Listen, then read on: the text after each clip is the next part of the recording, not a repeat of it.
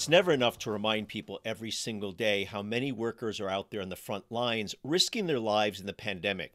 I've talked about those folks regularly on the show transit workers, retail workers, teachers, and surely the workers who put food on our plates are right up there high on the list. The folks, for example, who put chicken on our plates, they're crammed together in poultry processing plants and they're getting sick by the thousands and dying by the hundreds, along with people who are processing meat for our consumption as well.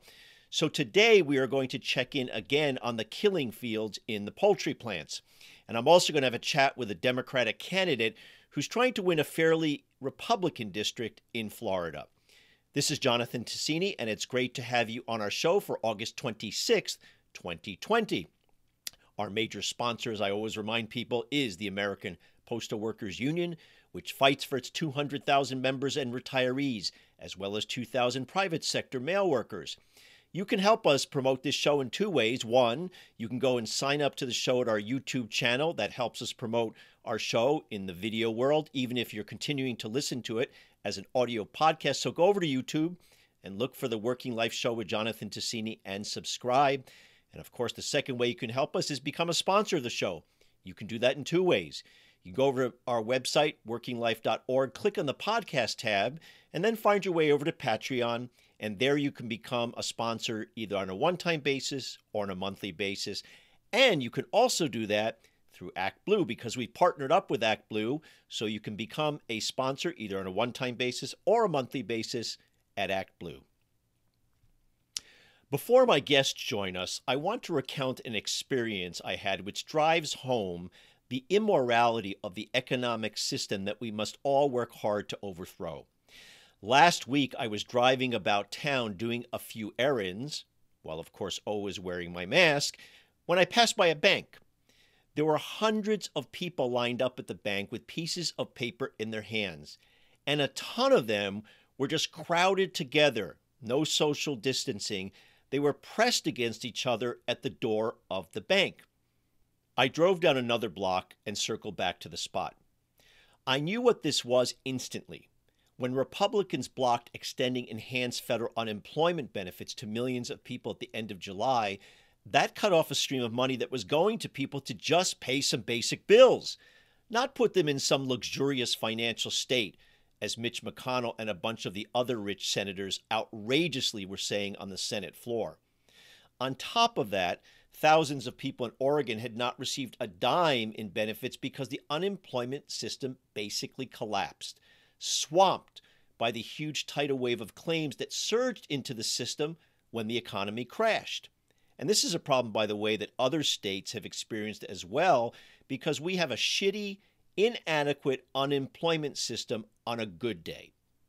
So, what the Oregon legislature did was create a pot of money to give out to people one time grants of $500 for folks making less than $48,000 a year. But the overall pot was limited, and so it won't reach every single person. And on top of that, to get the money, a person had to go to a bank or a credit union. And that's where this crowd comes in.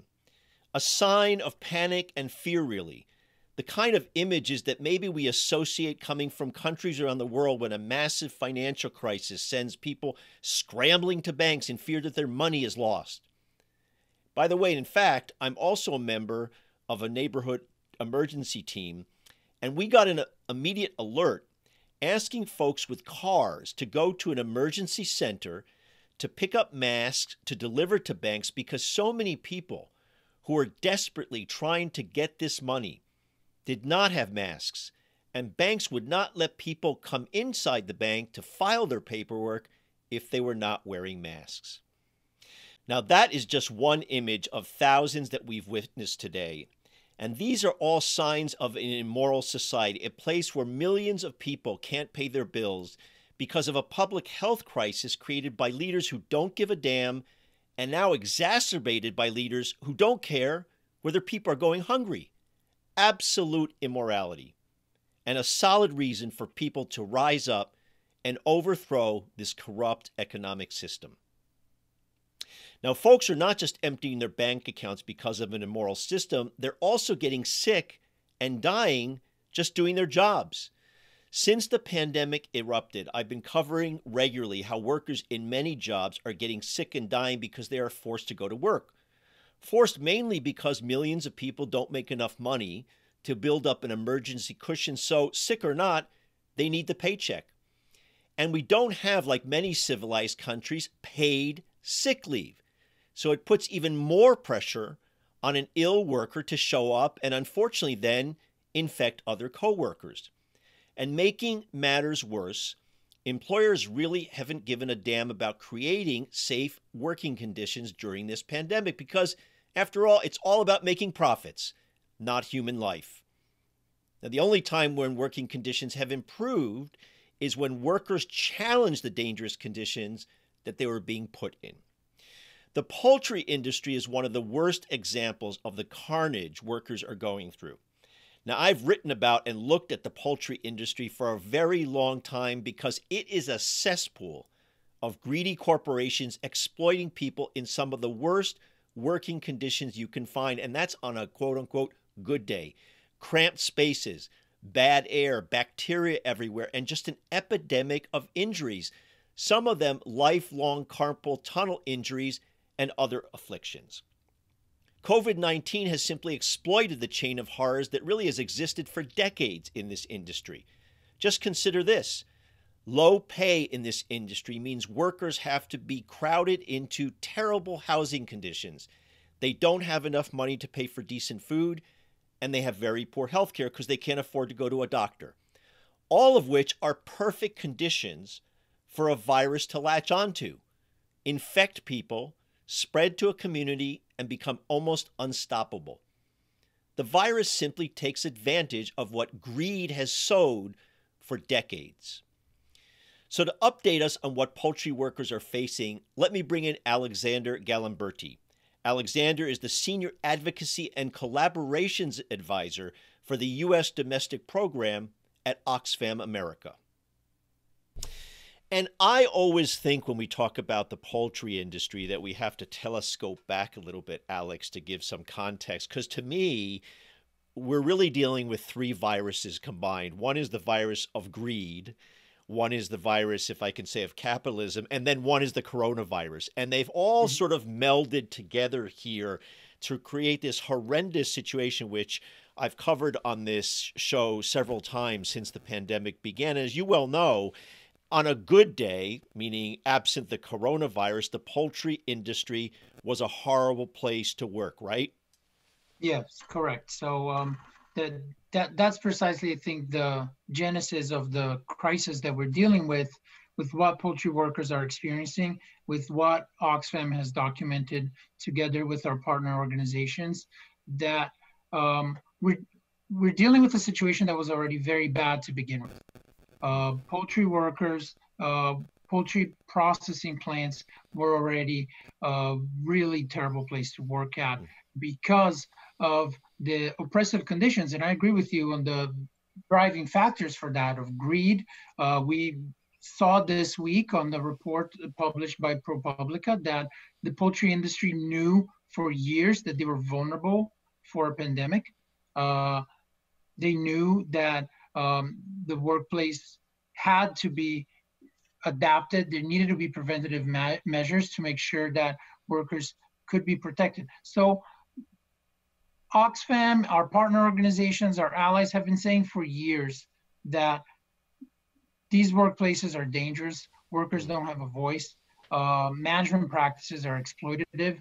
Um, workers are getting hurt. Workers are being mistreated. Mm-hmm. And when this pandemic began, we tried to tell the industry right on the spot that they need to do something, that this pandemic is going to hit them hard. And they didn't do anything. They didn't listen. So they try to continue operating business as usual. And, and that, I think, is the big problem there. And so let's, in fact, underscore business as usual. You've got these companies who are incredibly greedy and incredibly profitable. They're run by CEOs with basically a hard ass attitude where unions are very weak, where these companies try to bust unions and keep unions out. You've got, on as I said, on a good day, these workplaces that are crammed together. You've got this intense uh, intensity on the line of a huge number of these chickens in this mm-hmm. case, and this is true in meat processing too, whizzing by where workers were crammed together. And as you well know, and I've covered this for a number of years, huge number of injuries, largely because of carpal tunnel syndrome and the, the ways in which workers have to make so many cuts in such a short amount of time that they end up with these disfiguring injuries and injuries, lifelong injuries that follow them for decades, even after they've retired. Yeah, exactly. And and this is really um, business as usual for this industry means exactly what they have been doing for decades, hmm. which is to try to exploit the cheapest form of labor possible that they can find and really deny the humanity of the hmm. people that are in the processing lines, ensuring that we have the readily available supply of chicken that we have.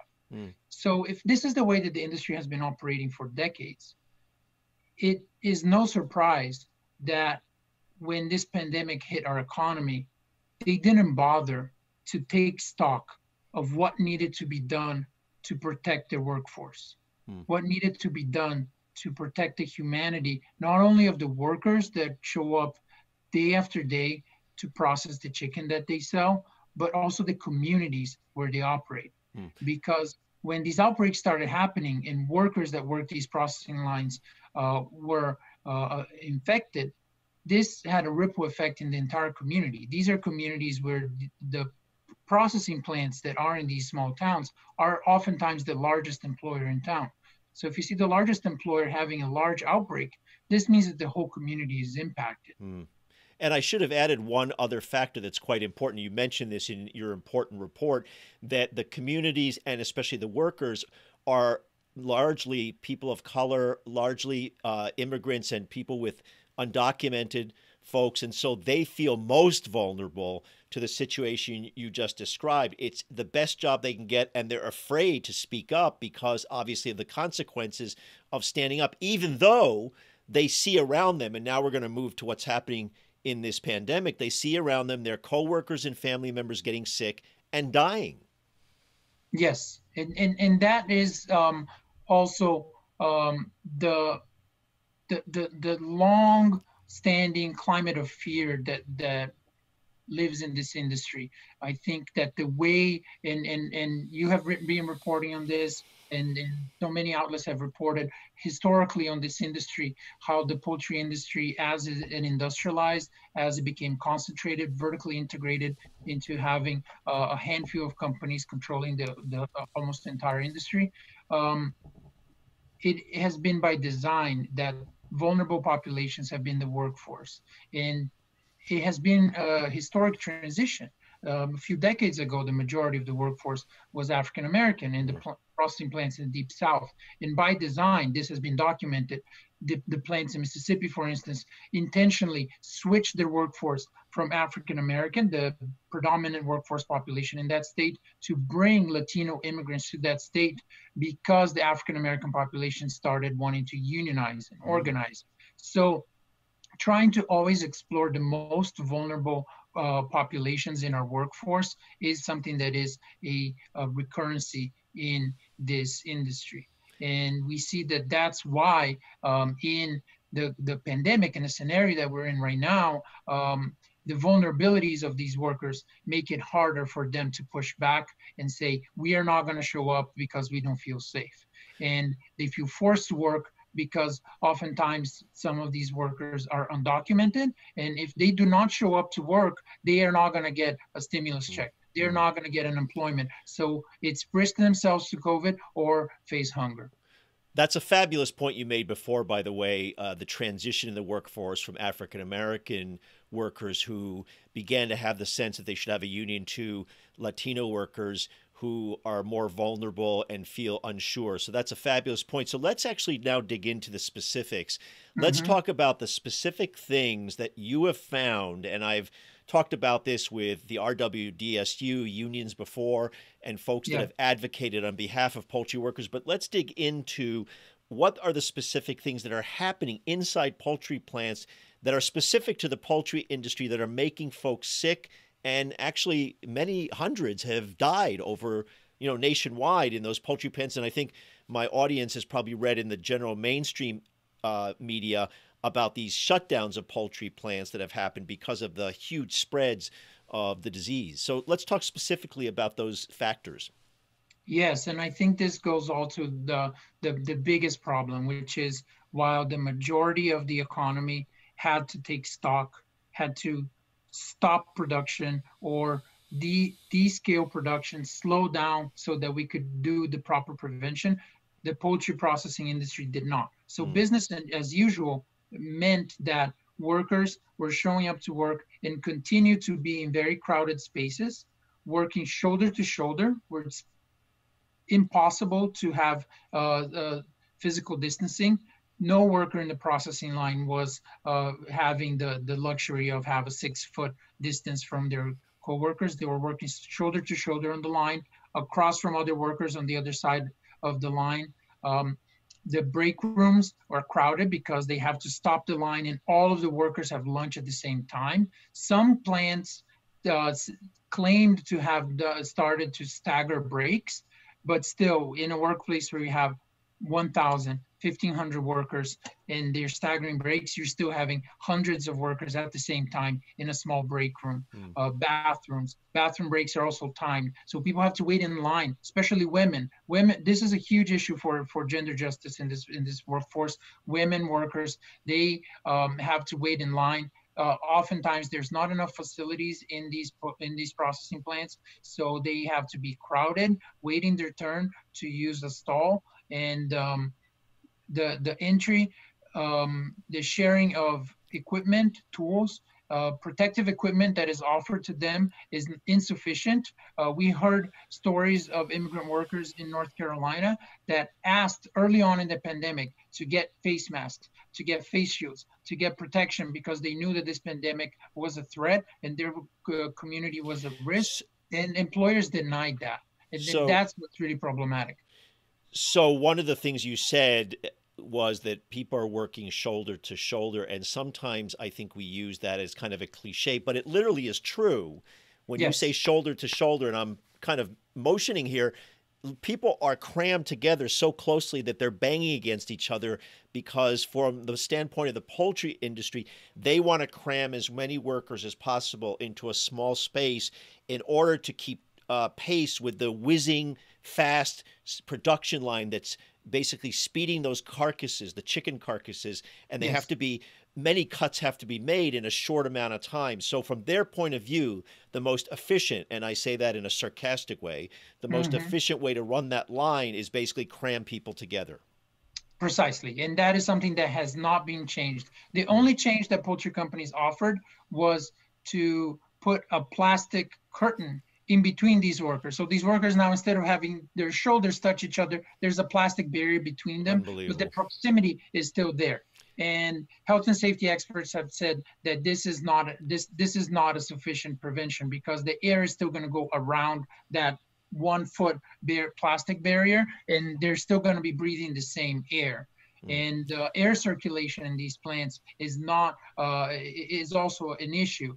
Um, that they these workers are working uh, shoulder to shoulder in stagnant air. And we know that they're working so close together that in previous reports uh, pre-pandemic that oxfam published we documented that um, not only some of the frequent injuries they have of course the most frequent is carpal tunnel from the repetitive motion but also they're standing so close together that it is not uncommon for a worker to accidentally uh, cut a coworker that is standing so close to them while mm. they're making repetitive motions to slice Incredible. And um, when you mentioned ventilation and it's stagnant air, I mean, the reason there's stagnant air is because it costs money to actually have good ventilation in these kinds of factories, these locations. And these companies are penny pinchers. They're really abusive. They don't want to spend the money that, again, in a good day, folks should have good ventilation because that makes them keeps them healthier somewhat. Remember, there's a lot of uh, germs and bacteria that floats around from these chickens and these carcasses on again on a good day even before the pandemic mm-hmm. and people get sick from that so they don't care about that ventilation now one of the things in the report that i think is also important to underscore is the companies essentially putting pressure on people to come to work even when they know that they're sick and they're doing that some ways through these bonuses that they're handing out. They're saying, "Hey, if you continue to come to work, we're going to give you 500 bucks. If you yeah. continue to show up, we're going to reward you." And that's uh, this very subtle way in which they're exacerbating the situation. Yes. So there are two different ways that we have documented uh, and heard from workers through our partners that the uh, workers are being pressured to go to work and put themselves at risk. And the first one that you just mentioned is the indirect pressure, which is corporately sanctioned through the policies that these corporations have put in place as temporary incentives uh, for, for showing up to work, which are attendance-based bonuses. Some companies have announced bonuses that if you show up uh, with perfect attendance for a month, a quarter, a certain period of time, you get a cash bonus for that period the $500. That's a quarterly bonus, uh, for example. Some of the plants gave an hourly bonus. You get a, a, a $1 or $2 an hour raise, but you only get that bonus on your hourly paycheck if you had perfect attendance for that pay cycle. So if you show up um, four days uh, uh, for your entire shift, and then on one day in the week you showed up late, or you had to leave early because of a family emergency, then you lose your bonus for the entire mm. week. So those are incentives for people to show up to work whether or not they're feeling well. So if a worker is on the line and they're starting to feel symptoms, they're starting to feel uh, like they have a headache or they're developing a fever, they are going to do everything they can to not be noticed, to not tell the managers that they're experiencing symptoms because if they are sent home, they lose their bonus. And um, let's be clear it, for those folks, the reason they stay at work is partly they don't have paid sick leave, and that's true not yeah. just in this terrible industry, but throughout the country. And specific to this industry, the wages are so low as it is that to miss work for folks that have no other options, as you point out, sometimes this is the only employer in town. That's very frightening because the only other option you will have is either unemployment or maybe working at the 7 Eleven. Correct and and also we have to take into account the the the families that uh, a lot of these workers belong to. Um, uh, many of the processing line workers that we interview are women, immigrant women, and in their households, they might have a spouse that lost lost his income because of the pandemic. Uh, immigrant men that are working in construction, in other jobs in the service industry, and right now, because of the shutdowns, they have lost work so uh, the poultry processing worker in a household now have, might have become uh, all of a sudden the sole income for an entire family. Mm, so the mm. pressure for them to do everything possible to not lose that income becomes much more elevated. Um, and now the one other point that I, that, that I was going to make about things that we heard from our partners, which is a more egregious way to uh, incentivize or force workers to come to work um, when they might have been exposed or they're afraid of exposure to the virus is, uh, and, and these of course are not corporate sanctioned policies, but we have documented instances where plant supervisors and plant managers are doing this. When a worker is exposed and is told to quarantine and they are told to take a test, um, they get a test that comes negative, but medical experts say that even if you got a test that that, that was negative, you still should quarantine for two weeks before you show up to a crowded space like a poultry plant.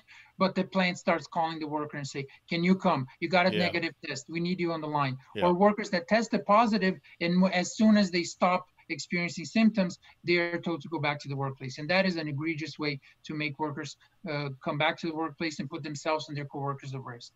Okay, and in the last minute or so that we have here, and I want you to do this in a tight fashion, um, yep. I, I want to point out that poultry workers are essential workers and it is mm-hmm. a great thing when people are celebrating obviously the healthcare workers the nurses the doctors the people who are treating people who are ill who come into the hospitals but let's face it there are essential workers on the front lines in retail stores on transit systems and certainly poultry workers if everybody thinks for a moment all the chicken they eat let's face it without those folks putting their lives on the line you don't yeah. have your chicken in front of you to eat. Now, that may really be an argument for being a vegetarian, which I am, but that's a separate question. Mm-hmm. Um, what I want you to do is, in a few points, say what's the solution?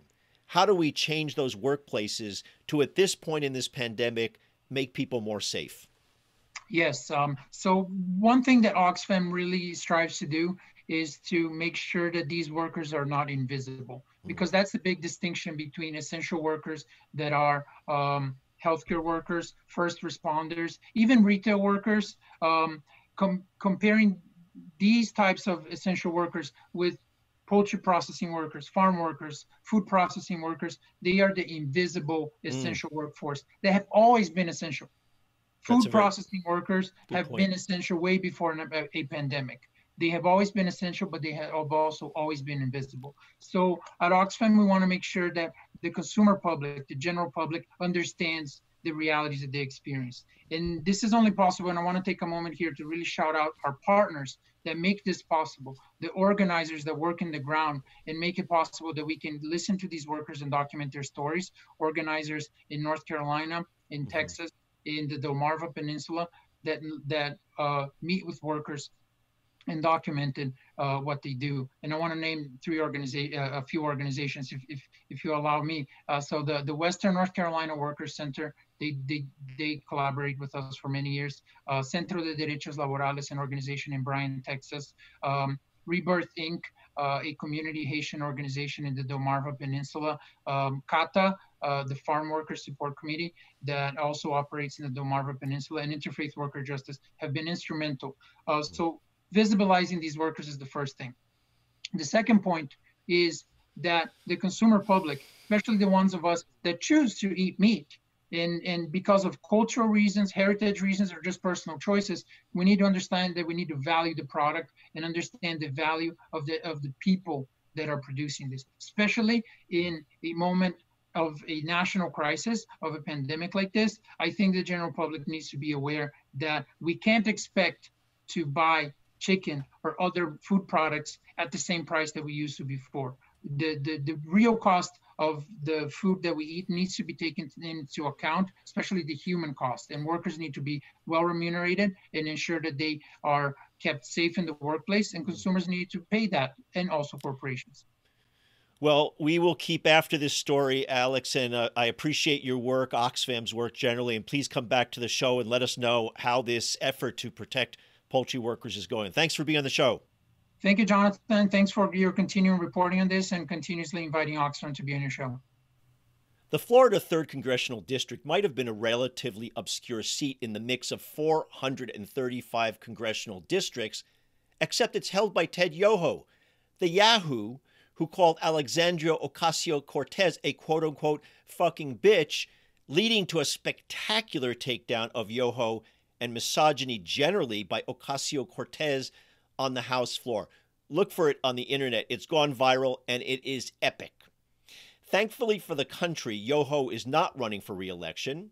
It's always good to get rid of the worst of the worst. But still, the district is considered a pretty safe Republican district with an R plus 9 lean to it. Trump, in fact, beat Hillary Clinton 56 to 40 in this district in 2016 it's almost 80% white, and it's in the northern part of the state, which tends to have a much more conservative bent. But that said, it may be one of those districts where one can test a populist message, trying to talk to voters about ideas that touch them across the political spectrum. At least that's the theory that Adam Christensen has as he is running to capture that seat. He just actually won the Democratic nomination in a squeaker and his website might give a little hint to his messaging. For the many, not just me, Adam.com. Ring a bell? He joins me now. Well, Adam, the first thing that jumped out at me when I was looking at your background is not just that you have a degree in biology, but you're a three sport athlete. And I know that isn't necessarily something you're running on, but you know, my audience likes to hear kind of the personal part of these candidates. So, where were what did you do? What were your sports?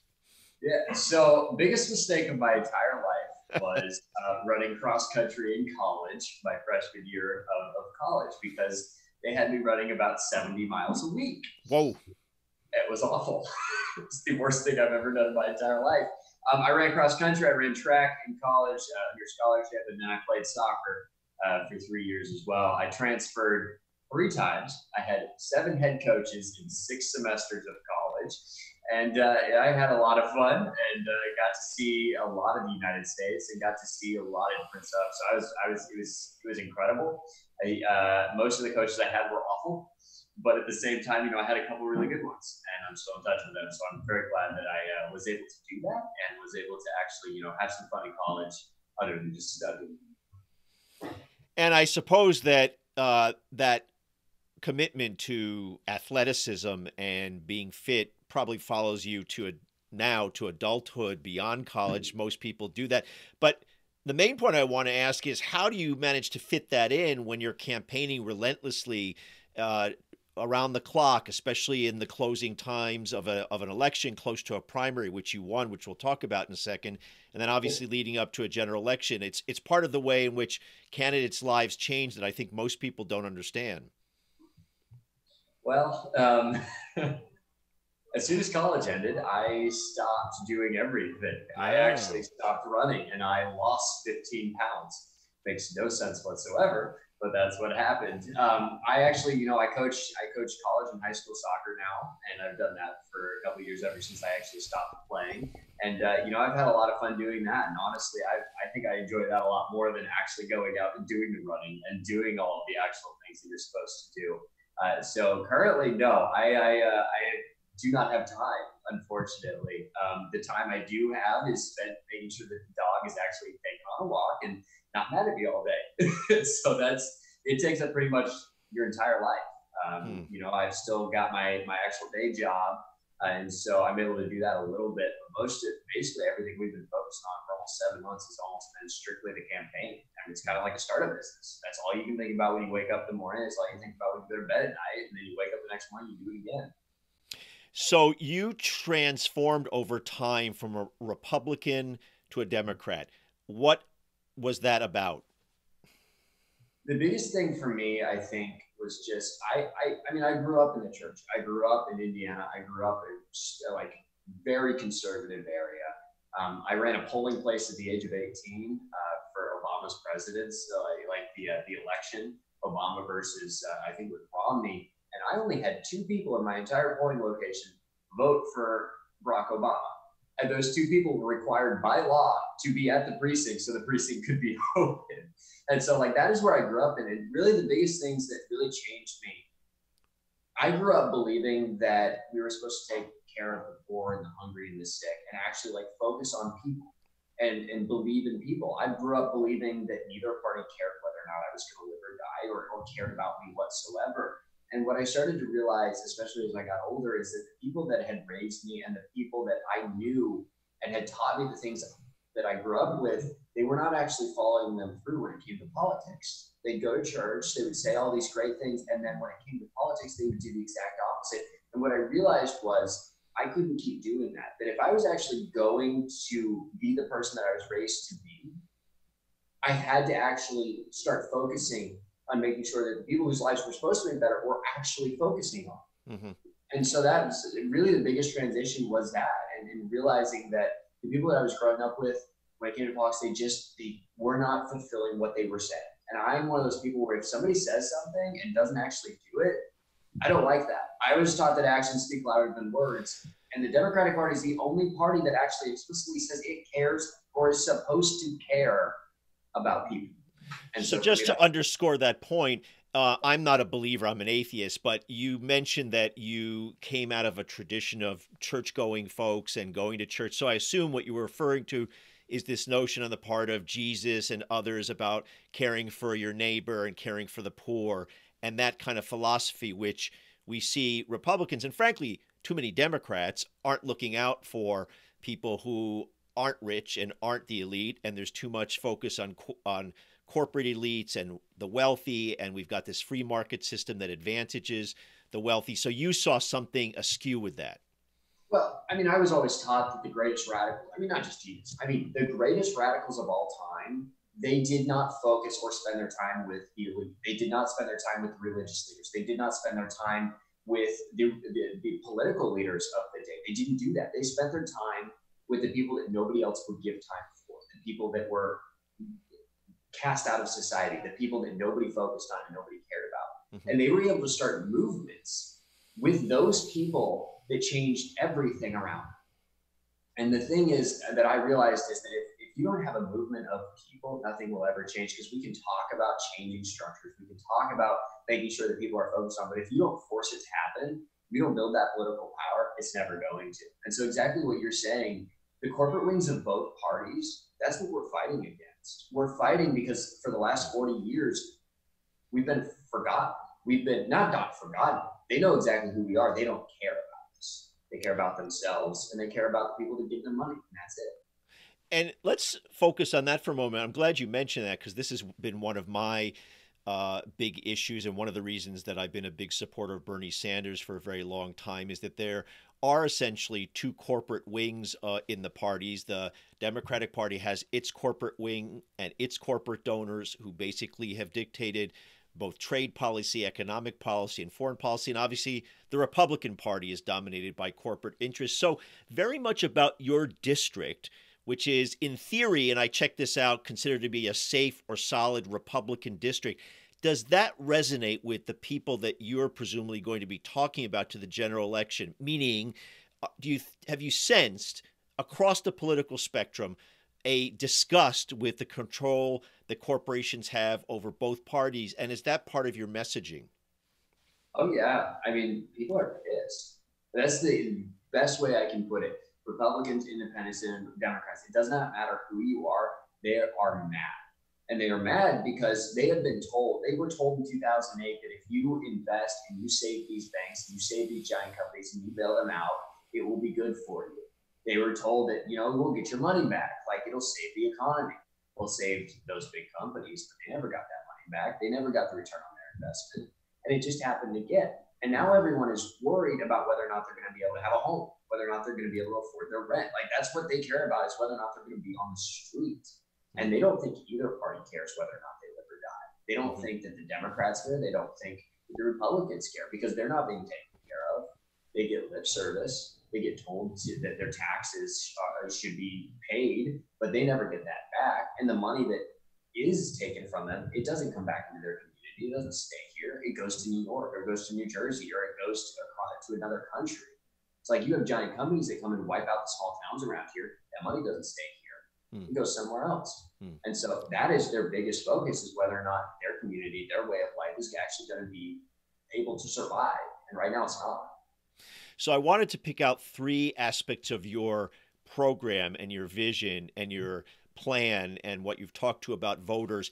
And I want to touch on each one, and I want you to re- relate each one to, in fact, the point we just made, which is how it resonates in a relatively Republican district, at least traditional. So the first one, which I really loved, was, and I'm going to, quote from it we believe that the internet is now as vital to live in society as electricity, water, and energy. Essentially, you're arguing in your proposal to make it a public utility, make it, I think, accessible to everybody essentially publicly owned networks. And one of the things I wanted to point out and then let you riff on this is that one of the reasons we have huge cable bills and the media companies have dominated now the landscape is not because of Republicans, it's because of Democrats. It's especially because of Bill Clinton, who pushed through the deregulation of the telecommunications industry, partly being pushed by the corporate donors, the media donors.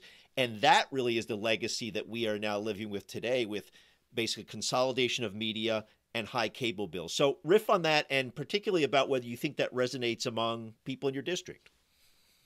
Yeah, I mean, The Clinton administration didn't just do that. They got rid of Glass Steagall. Mm. They allowed the financial collapse to happen. They set it in motion.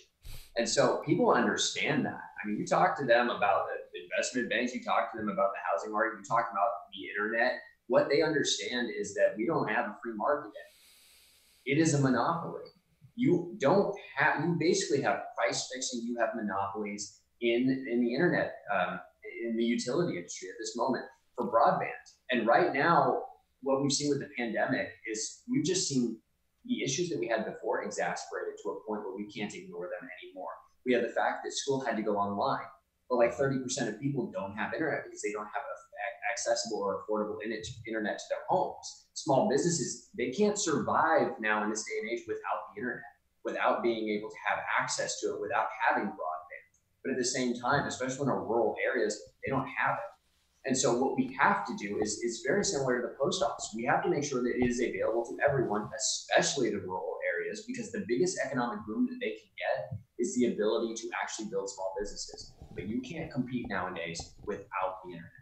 Mm-hmm. You okay. literally cannot live or build or do anything. You can't apply for a job. You cannot do almost anything in our society without the internet. And so what we have done is we have allowed giant companies, and this is the thing that that with Republicans and independents and the people that I grew up with, they understand and they love is the fact that we are not afraid to actually go against monopolies. We are not afraid to actually go against middlemen and scammers who are making our lives more expensive for no reason whatsoever, just because they can.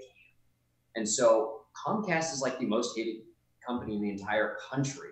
Like all of our, like all of these companies are the most hated in our country. So you're never going to lose a vote by saying you hate them. Well, I think I, I would say that they could they probably compete with the insurance industries and some other industries yeah. as the most hated. But I will agree with you that people hate their cable companies because of monopolies, which unfortunately there is no antitrust real effort in this country, even on the part of Democrats as well, because they've been bought off by lobbyists. Maybe that'll change, especially if Elizabeth Warren has some leverage in 2021 because she's been very much against the monopolies, as has Bernie Sanders.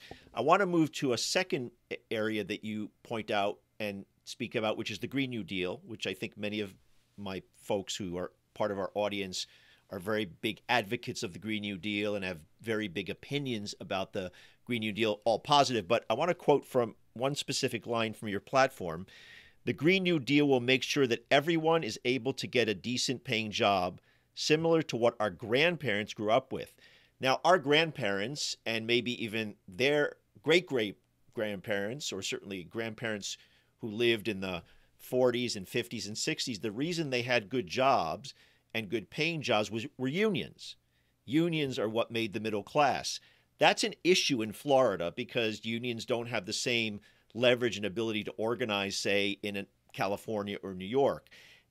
How do you talk about unions in your district and do you understand and do you support the notion that without strong unions you can't have middle class jobs? I mean, at the end of the day it's about political power and it's about who we're actually going to organize with right? At the end of the day unions are the thing that actually prevents businesses and giant corporations from taking advantage of people the organizing power is what does that and so, yeah, we have to build those. We also have to do something very similar to like the Tennessee Valley Authority down here, where we actually have a federal jobs guarantee. So when we talk about the Green New Deal, it's all specific to jobs. It's specific to not just because you can have a job, doesn't mean it's a job worth doing. We call people essential, but we pay them like they're expendable. And so at the end of the day, it's a question of is that job worth having? Because we can bring jobs. Walmart's done that for years, which all they did was destroy those family owned businesses and get rid of the good paying jobs and replace them with a job that paid a third. And so when we talk about, we really tie again the anti monopoly, anti giant corporation destroying our towns uh, into that. And so, yeah, that's really what we focus on with the Green New Deal is obviously it's about the environment. Obviously it is about creating sustainability. But on top of that, people are more worried about whether or not they can actually survive and so when we do it, especially in the red areas, we focus on the jobs. We focus on the fact that normal people have to have that organizing power. They have to be protected. Because right now, Florida has a right to work. Basically, it's written into the Constitution. State employees are not allowed to strike. Like they're not allowed to do that. And so when we talk about these things, we talk about getting rid of that. We talk about meaningful things to actually increase union power, bargaining. Medicare for all would do that as well because now they don't have to bargain for healthcare. If they have Medicare for all, that means that they now can barter or bargain for better wages. They can actually do those things and they have more political power. So yeah, basically everything that we do is focused on people mm. and building up the middle class. And unions is a huge way to do that. And so again, explicitly, now that you're past the primary when you were talking essentially to Democratic voters and you have to broaden your message to a general population and you're running against it's an open seat. You're running against a, a, woman who was nominated in the Re- republican primary i believe. Do you think that emphasizing unions and talking to you know independents and you're going to have to bring over some republicans or hope that they maybe stay home but have a large turnout of democrats a large turnout of independents does saying you have the right to be in a union work in that district depends on where you're at Hmm. Um, our district is very large geographically, and so messaging that works in like Clay County is not going to work in Putnam County. Messaging that works in Alachua County, which is very blue, is not going to work in Marion County. So we have picked and choose where we use a certain framing and, and how we actually approach it. We never water down policy, but what we do is we actually frame it for the people that we are talking to in a way that they can understand, in a way that's actually going to reach them. And so, mm-hmm. for instance, with the Green New Deal, in Alachua County, which is very blue. That's University of uh, Florida, Gainesville area. We talk about the environment. Green New Deal, we focus on the environmental side because that's what people care about. When it comes to Putnam County, we focus on the jobs guarantee. Focus on being able to get good paying jobs. When we are talking just outside of Alachua, we're focusing on the unions. So it really depends on geographically where it is and what that town, honestly, what that community is focused on and what their biggest concerns are. The other part that I wanted to raise from your platform, you've adopted the Andrew Yang mantra about universal basic income. And up front, I want to tell you that I'm quite skeptical about UBI, mainly because I think it indirectly undercuts potentially Social Security, Medicare, and union organizing because the message somewhat, and Yang is, I think, not a good messenger on this, he doesn't stay up front we need union power. We need to have people organized in unions. We have to have huge union density. And on top of that, you get this UBI. And so my fear, and I'm curious about your perspective in this, my fear is that you get $1,000 a month, which is what Yang was proposing, I believe. But then that gives the ability of people who hate government to undermine all the other pieces of government and union organizing by saying, hey, you got that thousand bucks, be quiet. You should be happy with that. No, it's it's on top of the way I kind of think about this and the way I approach it is, you know, we've had we've had trickle down economics for what, 40 years now. Mm-hmm. Everyone knows what that is. Everybody knows what it is. And basically what we've said is we're going to give money to the top and eventually, hopefully, maybe it'll get down to everybody else. The way I respond is no, you start at the you start at the base, you start at the fundamentals. Like that's how you build a business, that's how you build a team. You make sure that the fundamentals are taken care of, have a solid foundation and you can build up and it actually builds something that is sustainable. So for instance, UBI, what it is able to do, at least the way I see it, is it is able to build that solid foundation where people no longer have to worry about whether or not they're going to be able to afford rent, be able to afford food. Those things are taken care of, which allows everyone to be able to actually do what they would like to do. You throw in Medicare for all on top of that, you throw um, in universal child care, and that's almost $18,000 that you're no longer spending for private companies for the basics. And so now, not only do you have your basics covered, but now you actually have enough money to be able to go do what you want. If you want to start a, small business, if you want to start a company, actually take your life back, you can do that because you have the money and you have the security. And so at the end of the day, I think that's what it's about is, you know, you're working. We're expecting, like people are expected to work and nobody's saying you shouldn't be working to receive stuff. You're working, but right now people who are working still can't afford basics. 15% of the people who are chronically almost have a full-time job. Somebody explain that to me. And so that is what we focus on, especially with UBI. I, I consider it to be trickle up economics. And my kind of the way I look at it is how about we start giving money to the base and tell the billionaires that eventually it might get up to them. Mm-hmm. And after 40 years, you know, if it doesn't work, then we'll change tactics and we'll re- reevaluate it then. But until we actually try the exact opposite of what has clearly not worked, then how are we ever going to know? And when I was somewhat critical of Andrew Yang about this, I want to be clear that one thing I, I liked about Yang when he was running was he clearly has a brain and he's thinking about things. I don't agree with a number of things he proposes in the particulars, but it's nice to see somebody that has a brain and is thinking about things and is not just regurgitating talking points that he's given by political consultants. Anyway, Adam, I want to wish you luck in your general election. And uh, when you're elected to Congress, we'll have you back on the show to talk about what life is like in Congress. Absolutely. Thank you for having me. Good luck. if you got any questions or anything else for me, just let me know.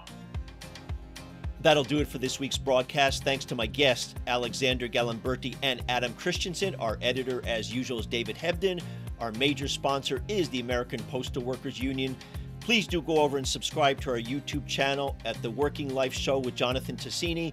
Please also become a sponsor of the show. You can do that in two ways either by going over to our website at workinglife.org, looking for the podcast tab, and clicking your way over to Patreon, where you can sign up either for a one time donation or a monthly contribution. Or you can go over to ActBlue. We partnered up with ActBlue, and there too, you can either make a one time contribution or you can become a regular sponsor of the show, which of course we would certainly appreciate. Thanks for tuning in. Look forward to having you back next week.